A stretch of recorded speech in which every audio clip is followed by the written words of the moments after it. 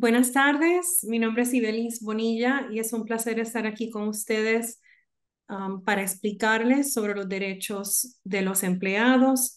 Llevo 20 años en Tucson, Arizona, representando mayormente a empleados sobre sus derechos en, en, de empleo. Les voy a explicar los, un poco sobre la ley en Arizona Em, mucha gente quisiera empezar explicando algo esencial. Cuando las personas vienen a verme, siempre tienen preguntas. Nosotros somos un estado, eh, el concepto en inglés se llama at will. Lo que significa eso en español es que el empleado y el patrono pueden terminar la relación de empleo por cualquier razón que no sea ilegal. En otras palabras, en Arizona, el patrono no tiene que tener una justa causa, probar una justa causa eh, para poder eh, despedir un empleado. En Arizona, un patrono no tiene que dar razón al empleado por la cual está tomando la decisión de despedir. Por lo que son cosas esenciales que quiero que todos los empleados eh, sepan que, en otras palabras, para tener una reclamación, una querella en contra de un patrono, hay que probar, hay que poder tener una causa. Para tener una causa de acción hay que poder probar que ese despido fue por una razón ilegal.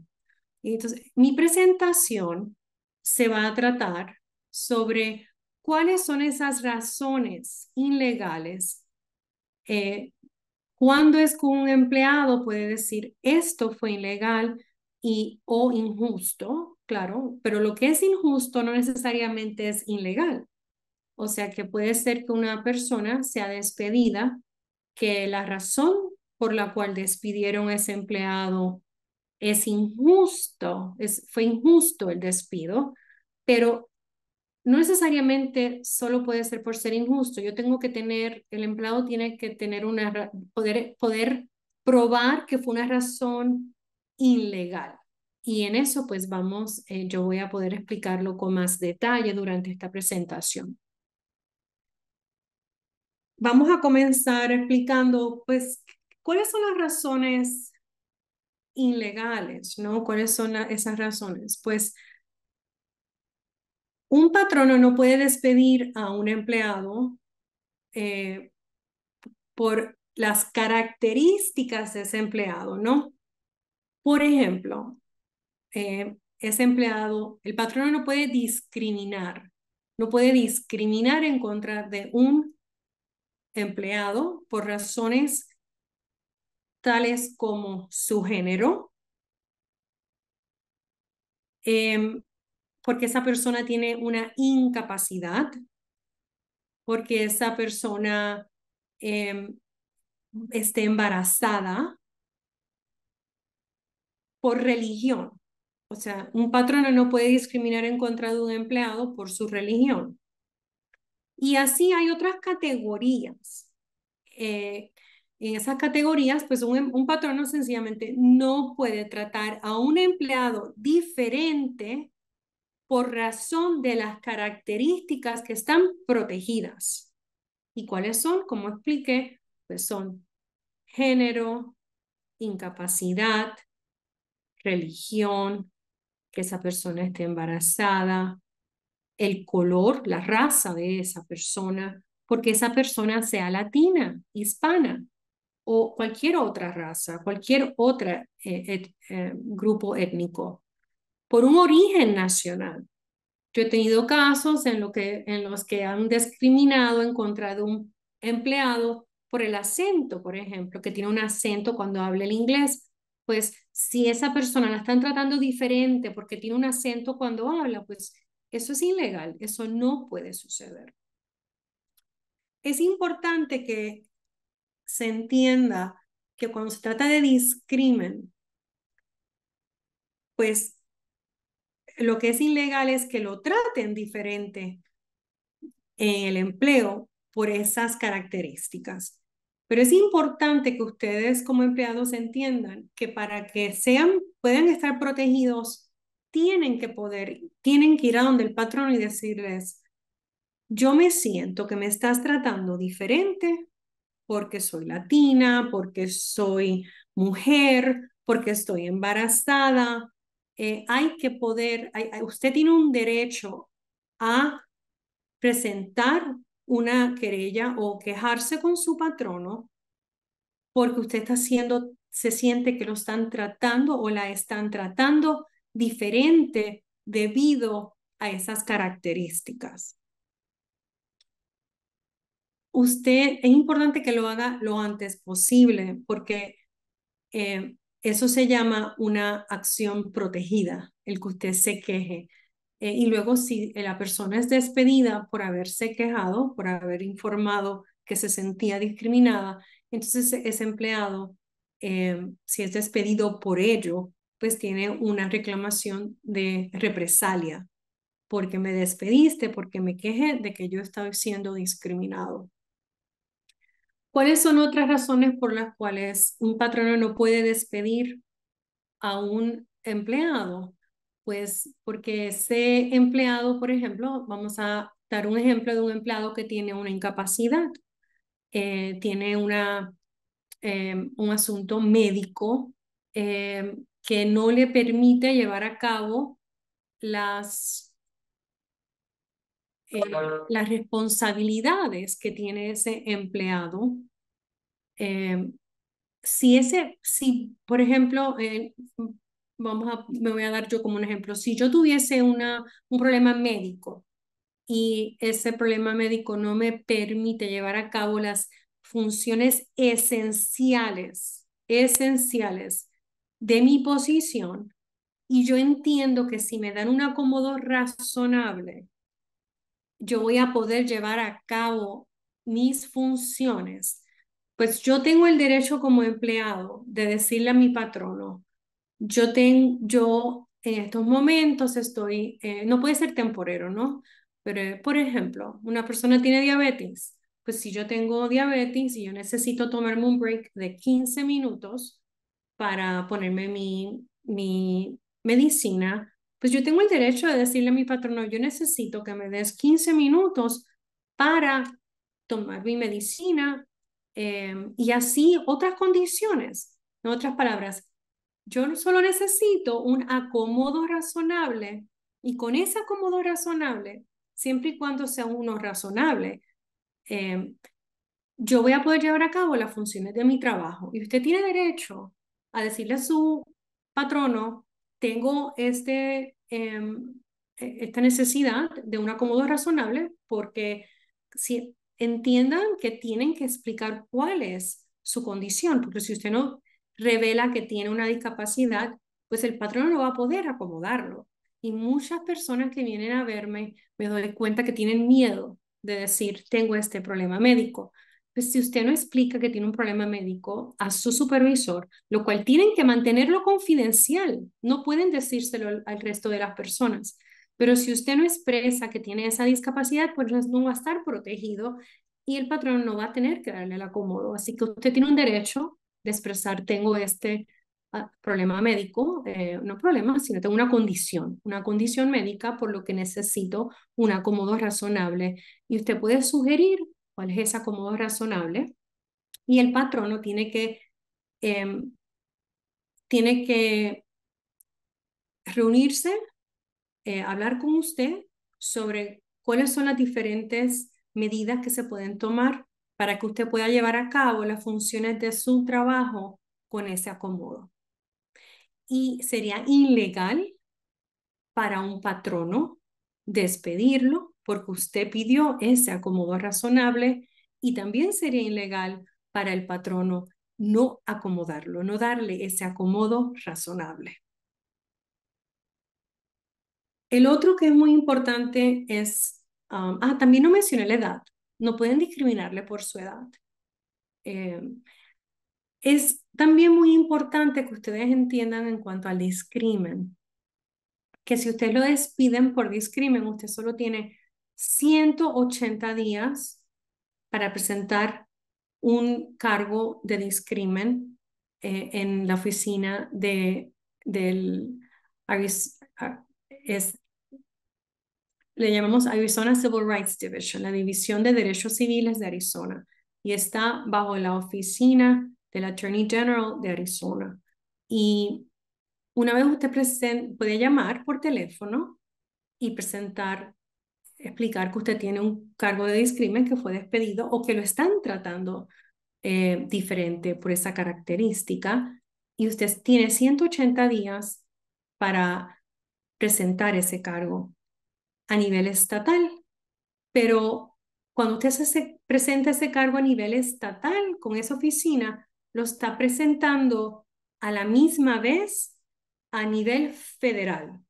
Por lo que cuando usted presenta un cargo con esa oficina, eh, hay un, un convenio entre la EEOC, la agencia federal, y la agencia estatal, y presentar con uno, eh, es, está presentando con ambos.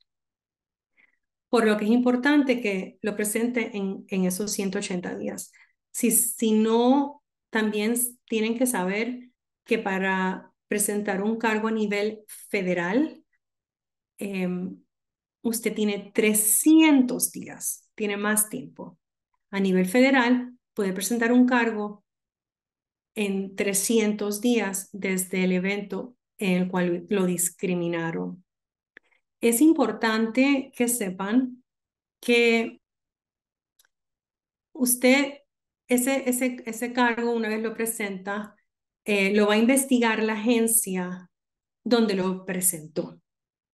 Eh, así que si usted lo presenta con la agencia estatal, la agencia estatal lo va a investigar. Si lo presenta a nivel federal, la agencia federal es la que lo va a investigar.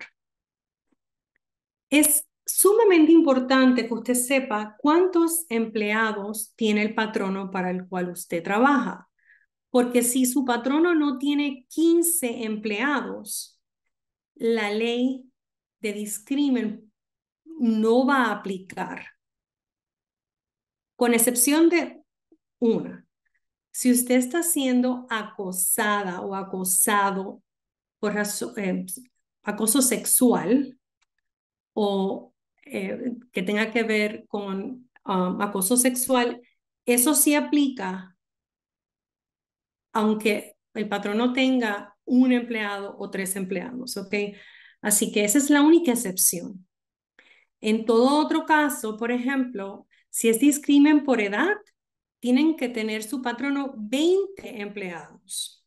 Si es discrimen por, um, por género, por sexo, eh, discrimen por todo, todo lo demás serían 15 días. O sea, ¿de qué estamos hablando? Raza, color, religión, origen nacional, género, discapacidad, todo esos, el, el, el patrono tiene que tener 15 empleados para que le aplique, con excepción de acoso sexual.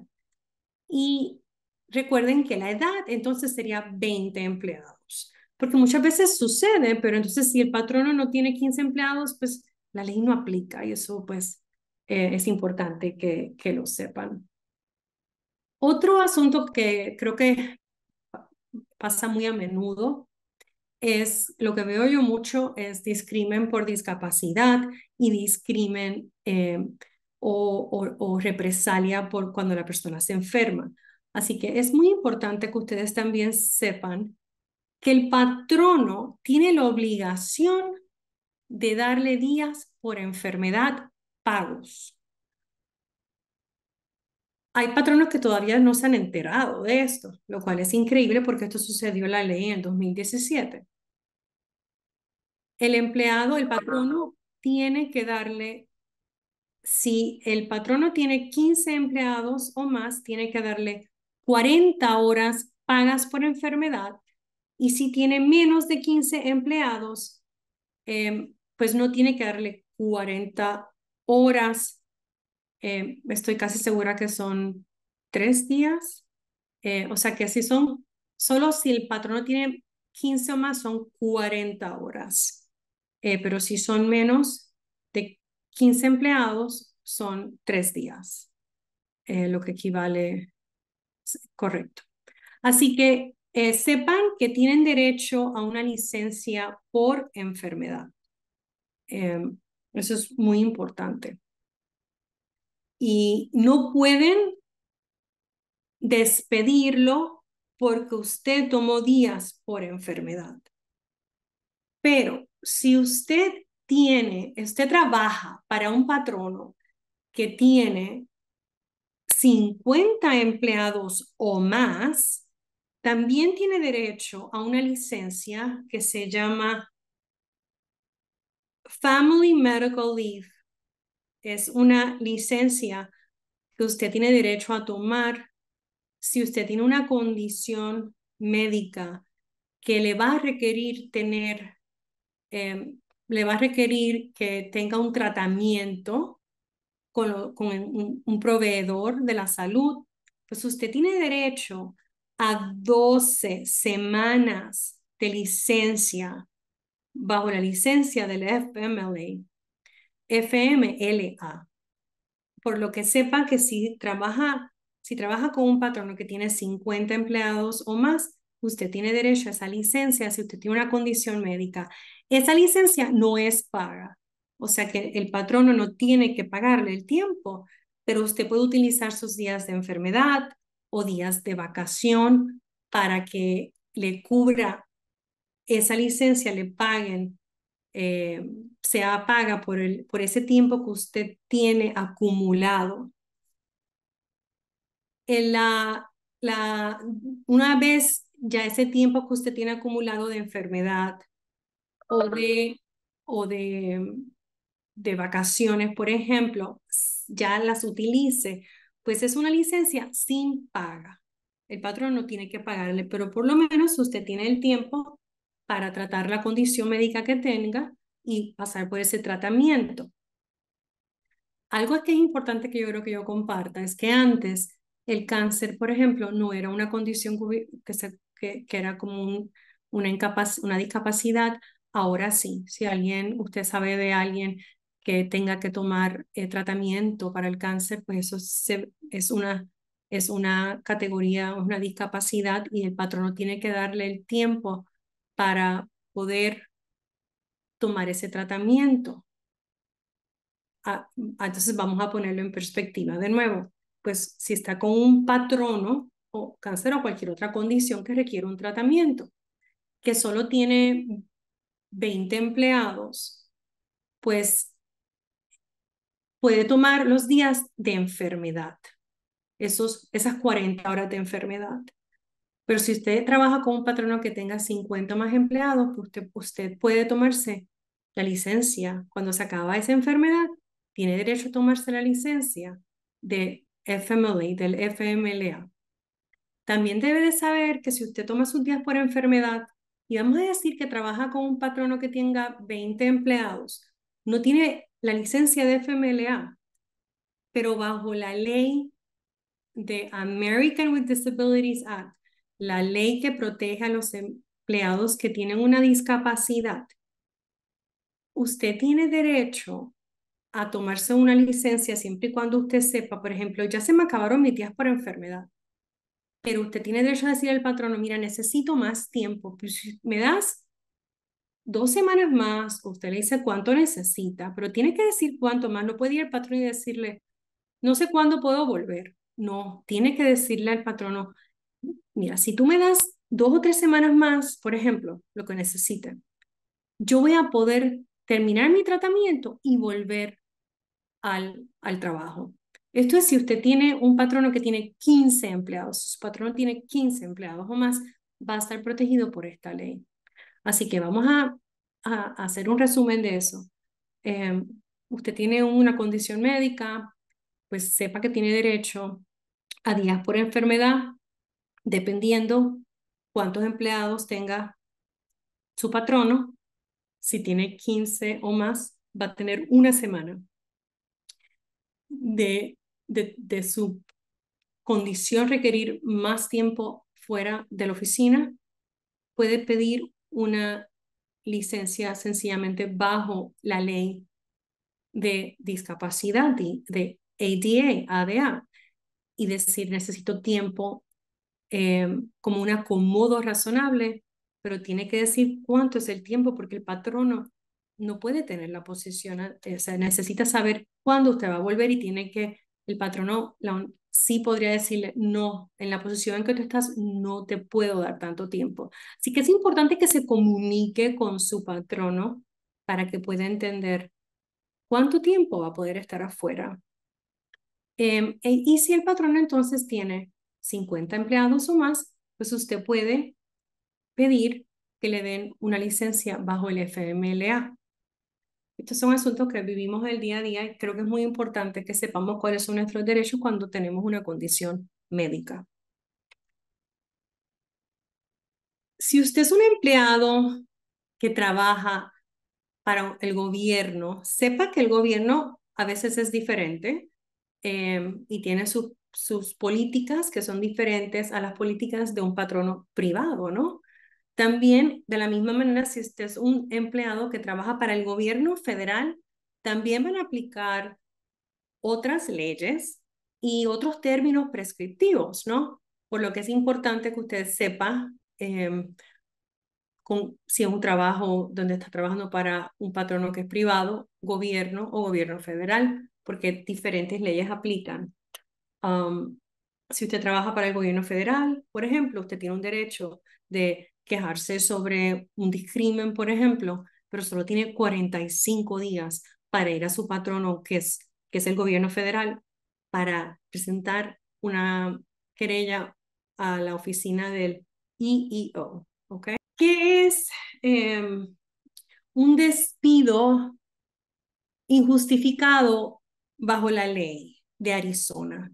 Pues aquí le llamamos un despido injustificado porque violó la política pública del Estado. Eso pues sucede cuando a usted lo despiden porque usted fue a donde una persona con autoridad para tomar una decisión sobre lo que usted se está quejando y usted le dice a esa persona, eh, que usted razonablemente entiende que la compañía está haciendo algo ilegal. Pues si usted le dice al patrono que, que, mira, yo creo que esto yo no lo puedo hacer o, o pude ver que ustedes están haciendo algo ilegal, pues si usted se queja y usted lo hace y luego le des, lo despiden o la despiden, porque usted se quejó y habló sobre el, lo que usted entiende es ilegal, pues usted no lo pueden despedir porque usted dijo, yo rehuso hacer algo ilegal o rehuso hacer algo que está en contra de la constitución de Arizona. Em, o no, por ejemplo, no lo pueden despedir porque usted ejerció el derecho de utilizar em, em, el beneficio, por ejemplo, vamos a darle un ejemplo sobre otro asunto por lo cual sería un despido injustificado bajo la ley de Arizona. Usted tiene, está trabajando y tiene un accidente. Usted trabaja eh, para su patrono y luego tiene un accidente, lo cual le, le causa daño a su brazo. Pues es bien importante que usted sepa que usted tiene derecho a decirle al patrono, mira, tuve un accidente en el trabajo, tiene un accidente en el trabajo y necesito inmediatamente reporte que tiene un accidente y que necesita atención médica. El patrono tiene que inmediatamente hacer un reporte y usted tiene derecho a los beneficios de lo que se llama Workers' Compensation compensación para el trabajador por tener un accidente en el trabajo. Ese patrono no lo puede despedir porque usted tuvo un accidente en el trabajo y lo reportó. Ahora bien, es muy importante que sepa que en todo momento se tiene que mantener en comunicación con el patrono. A mí a veces me han llegado empleados que me dicen, no, tuve tres meses afuera en Workers' Compensation. Eh, pues es importante que usted entienda que usted tiene que comunicarse con su patrón en todo momento, porque el hecho de que está en, esa licencia de compensación por eh, un accidente, no le va a proteger su empleo por el resto mientras esté eh, teniendo tratamiento, sino en todo momento tenemos que informarle al patrono, no en todo momento, pero pues mira, voy a estar, me dice mi, doctor que voy a estar por lo menos un mes afuera. Tiene que indicarle al patrono cómo el estatus, ¿no? Y cuándo piensa volver o cuándo puede volver con un acomodo razonable. Entonces volvemos atrás a la ley que les estaba explicando sobre acomodos razonables, lo que va a aplicar. Pues mira, puedo volver, y esto sí sucede mucho, donde usted tiene un accidente en el trabajo y, y tiene tratamiento y puede volver, pero solo puede volver si le hacen un acomodo razonable. El patrono no le puede decir, no, no puedes volver hasta que no tengas ninguna restricción. Eso no puede suceder. Eh, usted va a tener, eh, usted tiene derecho a un acomodo razonable si, siempre y cuando esa restricción le permita llevar a cabo las funciones esenciales de su puesto con ese acomodo. El patrono sí no va a tener obligación de crear una, una, una posición para usted que no tiene, eh, pero sí le puede, el, si puede llevar a cabo las funciones de su posición con ese acomodo, pues el patrono tendría que darle ese acomodo razonable. Volvemos a lo mismo, si ese patrono tiene por lo menos 15 empleados o más.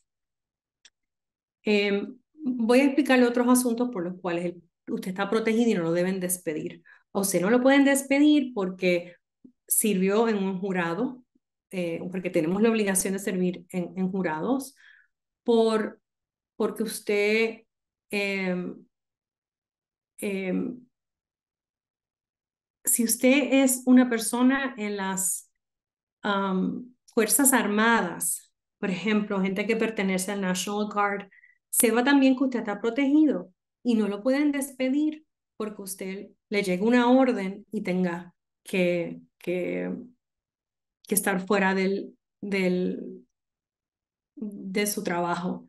Ahora bien, eso sí tiene requerimientos, o sea que tan pronto usted recibe una orden, si usted está, está em, trabaja para el National Guard, usted esa orden se la va a llevar a su patrón y va a explicar que tiene que cumplir y el patrón no puede tomar represalias en su contra por ello. Em, algo más que quisiera explicar es que yo creo que eh, todo el mundo tiene, siempre quiere saber sobre sus derechos en cuanto a, hacer la, la paga, ¿no? Eh, usted tiene que pagarle el salario mínimo. Es muy importante que dos asuntos, ¿no? Que le paguen el salario mínimo y que le paguen tiempo extra si usted trabaja más de 40 horas a la semana. Eso se toma, se calcula cada semana. El patrono establece, esta es la semana para nosotros y usted tiene, si usted trabaja más de 40 horas a la semana, usted tiene que ser compensado por las horas extras. Cualquier hora que trabaje más de 40 en esa semana. No dos semanas, una semana. ¿Cuál es el salario mínimo en Arizona? Sepa que el salario mínimo eh, en este año del 2023 son 1385. 1385. La ley, eso no aplica. Eh, es importante que sepa, si usted trabaja en un restaurante, pues podría estar una hora explicando lo de los tips, así que no tengo el tiempo para ello, pero sepa que si usted trabaja para un restaurante, pues pueden pagarle mínimo, menos del salario mínimo solo si con esos, esas propinas usted llega al salario mínimo en todo momento, ¿ok? O sea que aún así, pues sí, eh, puede tomar en cuenta las propinas, pero siempre le tienen que pagar salario mínimo por cada hora que usted trabaje. Em, em, es muy importante que usted sepa que el patrono no es el que decide si usted es un empleado exento o, o sea, el, patrono no es el que decide si usted le van a pagar por hora o por salario. Lo que quiero decir con eso es que son sus funciones. Y pues igualmente puedo dedicarme un día a explicar esto con, bien, con mucho detalle, pero yo les puedo decir algo que es lo más, em, algo general. Pues si usted no es un supervisor, si usted no supervisa empleados, si usted no maneja esa empresa y si usted no es un profesional eh, que tuvo que ir a la escuela eh, por mucho tiempo, por ejemplo, abogados, arquitectos, doctores, eso, si usted, eso no es lo que usted hace y usted no maneja el, el, el, la empresa o es de las personas que administra esa empresa, o si usted no es un supervisor, hay otras excepciones, computadoras, o sea, no voy a entrar en todas las excepciones que existen, pero por lo general usted debe ser, tiene el derecho de ser pagado por hora y ser recibir el mínimo de Arizona, sepa que el mínimo federal es mucho más bajo, pero lo que aplica en Arizona siempre va a ser el que sea más alto, por lo que lo que aplica es el mínimo de Arizona. Le tienen que pagar 3.85 por hora y si trabaja más de 40 horas y usted es un empleado que le tienen que pagar por hora, tienen que pagarle 1.5 eh, por esas horas, o sea, el salario mínimo más, y tiene que ser multiplicado por 1.5 por hora, eh, por esas horas extras si trabaja más de 40 horas a la semana.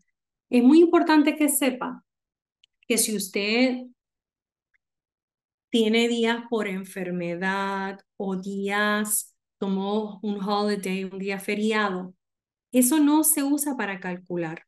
Mucho empleado se confunde y me dice, pero yo trabajé 43 horas esta semana. Bueno, si, tres, si tomó tres horas de vacaciones o de enfermedad, no se utilizan para calcular el tiempo extra, las horas extra de 40 horas. Eso no se toma en consideración porque para calcular el tiempo extra solo se utilizan las horas que el empleado trabajó. Otra pregunta que me, llega mucho es, si me despiden o, o, yo renuncio, ¿me tienen que pagar las horas que tengo acumuladas por enfermedad o por em, vacaciones?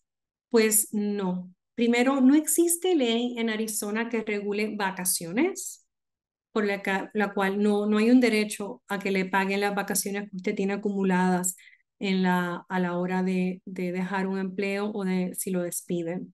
Y lo otro que es muy importante que sepa es que la enfermedad, la ley de enfermedad, eh, provee que no es necesario que el patrono le pague por esos días de enfermedad que tiene acumulado y no utilizó durante su, eh, durante ese año, durante el tiempo que trabajó con el patrón. Así que es importante, eh, pues esas son cosas muy importantes que usted sepa sobre pago, el pago de salario. Em, o sea que para, para otra cosa que quiero que sepan sobre salario, que es muy importante, si usted en algún momento se queja, eh, va al patrón y le dice, mira, no me pagaste las horas extras o no me estás pagando el mínimo.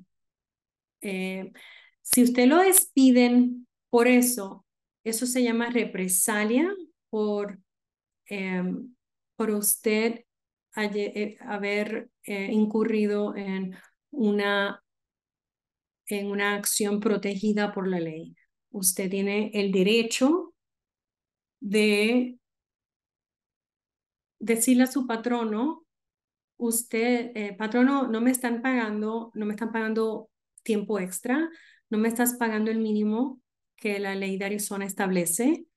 Eh, y si usted lo despiden por hablar sobre ello y quejarse sobre el hecho de que no le están pagando el salario o el hecho de que no le están pagando su tiempo extra, por ejemplo, usted tiene una reclamación en contra de su patrono porque tomó represalia por usted ejercitar su derecho de quejarse sobre que no están cumpliendo con la ley de Arizona sobre salario o la ley federal.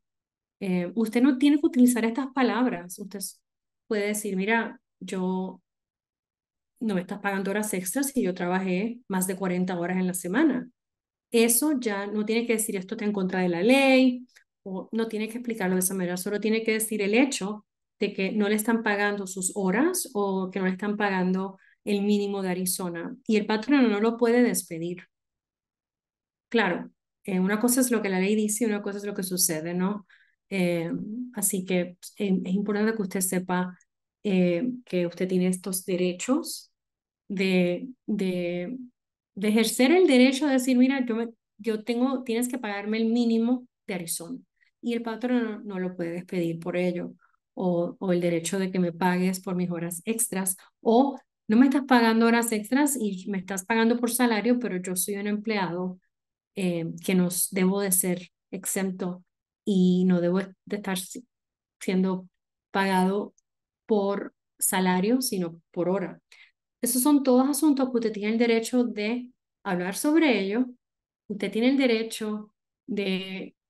otro asunto que quiero que cubrir porque es muy importante. Si usted va al patrono y le dice, mira, eh, no hay unión. Vamos a dar, por ejemplo, usted no, no hay una unión en su lugar de empleo y usted entiende que las condiciones de trabajo no son las correctas, eh, que están violando la ley y usted va y se queja por sus, em, por sus colegas, no solo por usted, pero diciendo, mira, eh, yo creo que las condiciones de empleo aquí son problemáticas, no me, ustedes, la temperatura está muy alta, eh, y nosotros los empleados, empleados tenemos derecho de trabajar en un ambiente donde no sea 103, por ejemplo, eh, de temperatura. Usted está yendo al patrono para hablar sobre sus condiciones de empleo y si usted lo despiden por llevar a cabo esa acción, eh, se llama una acción concertada. O sea, aunque no hay unión, usted tendría el derecho de ir a una agencia que se llama NLRB, NLRB, y, y, y decir, mira, cometieron represalias y me despidieron porque yo ejercité mi derecho de quejarme sobre las condiciones de empleo de los trabajadores. Eso es otra acción que no he hablado y quiero que sepan que es muy importante que ustedes sepan esto. Eh, es muy importante que sepan que un patrono no puede ir a donde usted y decirle, mira, fírmeme aquí un documento donde estás, eh, prometes que no vas a ejercer tu derecho a, a, que te pague tiempo extra. Eso es ilegal. Usted no puede renunciar a su derecho de ser, de que le paguen el mínimo de Arizona o a tiempo extra, eh, las horas extras, overtime. Eso es ilegal. Ya les expliqué sobre la ley de enfermedad. Em, así que sí, usted tiene eh, derecho a Sí, tres días, dije lo correcto. Si es un patrono que tiene menos, tiene 14 o menos empleados, tiene derecho a, 24 horas. Así que sí, déjenme, quiero que eso esté bien claro porque no lo tenía al frente mío. Usted tiene derecho a 24 horas de enfermedad si su patrono tiene 14 empleados o menos y tiene derecho, como les dije, a 40 horas de enfermedad si son 15 empleados o más. Ya les expliqué sobre la ley de familia, de, de, poder tener la, la licencia.